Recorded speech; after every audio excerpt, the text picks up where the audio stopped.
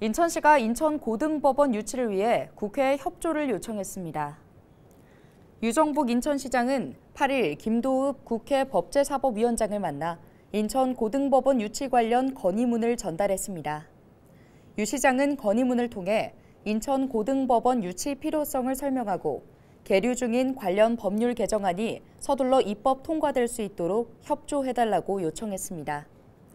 한편 인천시는 시민 110만 명의 서명을 바탕으로 유치 필요성과 당위성을 홍보하는 한편 범시민 추진위원회와 함께 국회와 법원 행정처, 기획재정부의 유치 협조를 요청하고 있습니다.